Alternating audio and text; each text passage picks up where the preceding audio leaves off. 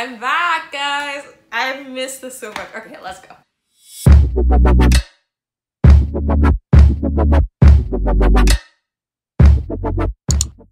Hello, everybody. Welcome back to my channel, Tominzay. My name's Tomi, and today we're spilling some tea. Like, I'm not even kidding. I actually brought literal tea. Also, I'm back home in Nigeria, which is why my background is different. You can see my baby picture right above me. Maybe you can, maybe you can't.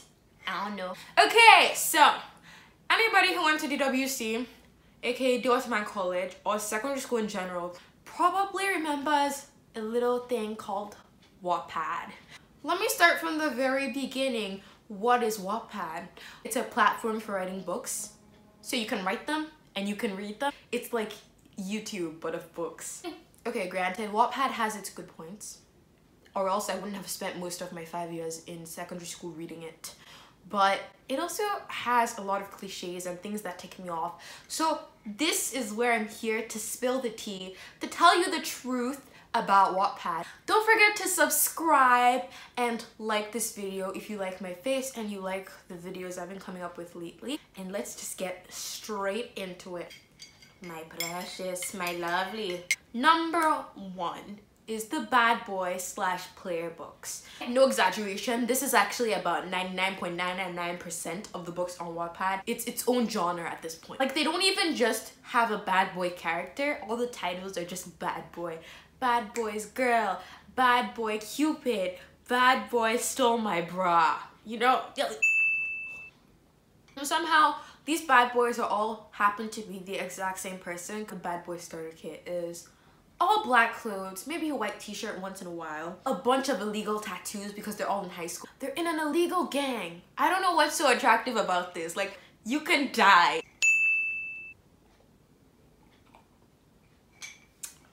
Ooh. Somehow, despite the fact that they never go to school, they're somehow a genius. Secret genius. It's like Lydia from Teen Wolf. Sometimes the bad boy isn't actually even a bad boy. They're just antisocial and like to wear black. I'm just, I'm, I'm, I'm just confused. Like, to be a bad boy, don't you have to actually like do bad things? And Wattpad is the breeding ground of high school stereotypes. It's always the nerd who has a magical makeup loving best friend and is being hunted down by the evil cheerleading blonde queen bee of the school and they always always always go to a party within the first five chapters. My parents don't even let me go for like friends birthday parties. So i don't know how these people's parents let them go for nighttime parties on a school night. Number two we have the werewolf slash vampire supernatural books. These ones really tick me off. Many of the relationships portrayed in these books are very possessive and very toxic and i'm just like man I feel like the only reason why they're wolves is so that you can justify the behavior, the possessive animalistic behavior. Especially in these mate books. It's so disturbing the fact that it's okay for you to kidnap somebody, hold them against their will, all because they're your mate and somehow they still fall in love with you and that's supposed to be the happy ending like that's not okay that's stockholm syndrome number three. Okay this is probably the most harmless books on wattpad and these are the comedy books. They are no, i'm not gonna lie. Some of my favorite books have been from this genre the funny comedy section. They're 80% like comebacks and just witty jokes and like 20% actual plot. Most of these comedy books actually have the most amount of diversity. Like on wattpad there's like zero diversity. Do minorities not exist in the Wattpad universe? Is that not a thing? Yeah, yeah, yeah. So number four is mental health books. Now this is definitely like on the heavier side of Wattpad. Like you're really trying to raise some awareness on some actual serious mental health problems or fears that people actually have.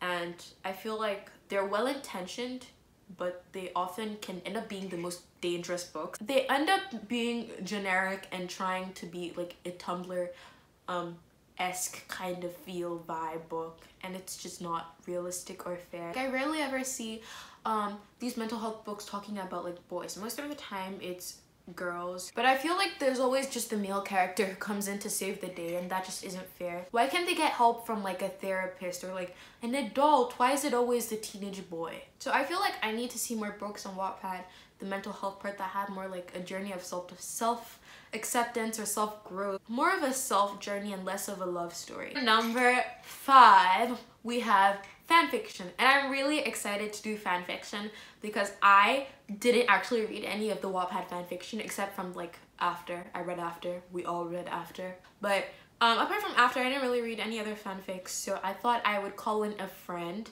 to come help me talk about what she really didn't like about the fanfic part of Wattpad. Her name is Koyana and she's starting a YouTube channel really soon. So when she does, I will link her channel down below.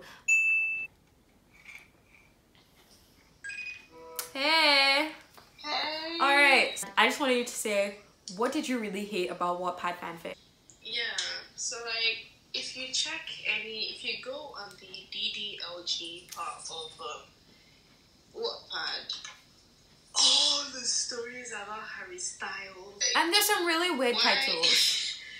Like, I remember, I, I never read these books, but I just looked around and sometimes I would see One Direction adopted me as their like slave and then you fall in love Yes. with one. Or One, One Direction adopted me. I actually feel bad. and this is not even innocent adoption. This is mature content. Of them doesn't give you like warnings. You just put like, oh, wow. Like, when you now try to like skip all the smut, you realize the book is like empty. yeah, there's like no book left. I love the people that do like write these stories or read these stories. They're like twelve year olds, thirteen year olds. Yeah, they're like really young. I'm like, girl. like there's ones where oh, it's this teacher student and the te- I'm like. That's some pretty little liars kind of stuff right there. It's it's illegal. Don't do it. Don't don't do it. Okay. Alright, I think we've spilled most of the tea.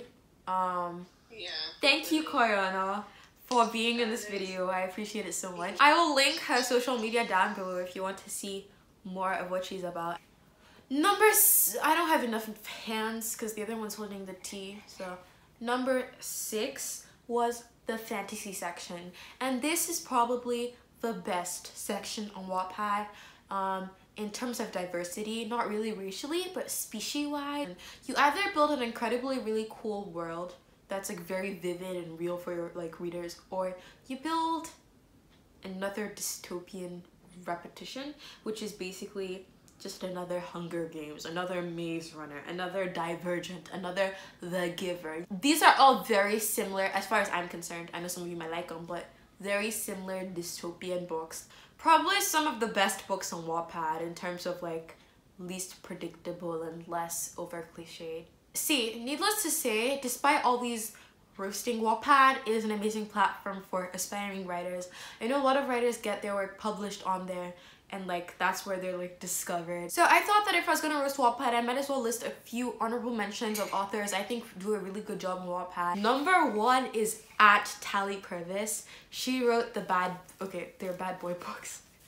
They used to be bad boy books. Number two, Hep Burnett. She writes a bunch of really cool short stories. Number three is Cityscape. And she has this really cool book called 548, which is so beautiful. It's art. Number four is Cinnamon Cherry. And she wrote um, The Kissing Pact. It's really cute and adorable and like really funny and it's just it's a good uh, book. Number five, at Little Cinnamon. She wrote this book called Hedoschism. It's very creative, it's very different. Go check it out. Number six is E. Latimer. She wrote the Jotun Chronicles, which is one of the best fantasy books I've read on Wattpad. Very addictive, very good. Seven is Rebecca Sky. Work is some of the most interesting books I've read. And number, I don't know what number we're on anymore, but this one is called At Enter Into My Mind. She's another author that writes these really thought-provoking books.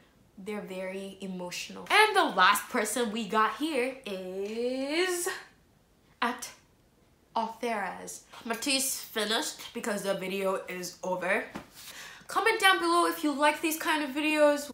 You guys, thank you so much for the amount of love you sent to my last video. And My last video was about um, trying out dollar store hair products and it will be in my end card if you'd like to watch it. Don't forget to comment and subscribe. Just click the button on my face. I love you guys so much. I'll see you